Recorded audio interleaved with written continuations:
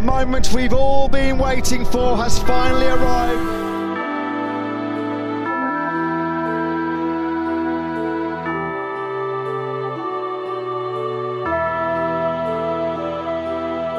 Look at the fans' reaction. That was horrible to watch. I'm still alive, mathematical. I'm a dreamer.